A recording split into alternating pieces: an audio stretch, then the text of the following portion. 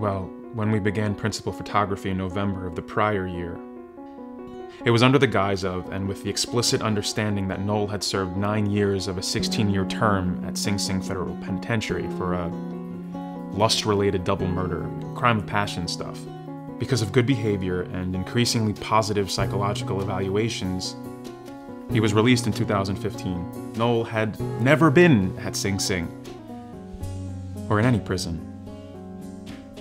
He had never been caught, and there was no crime of passion. This was a string of murders. And Ellis and I were left with a substantial moral, ethical, and legal conundrum. Let's just say this will be the most significant contribution of my life.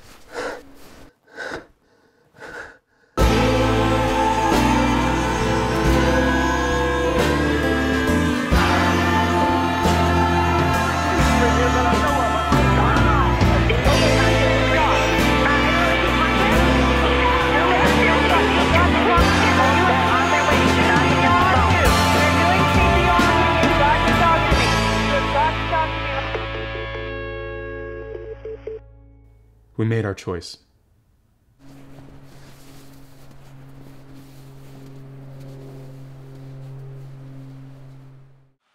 This is Noel Rose signing off the grid.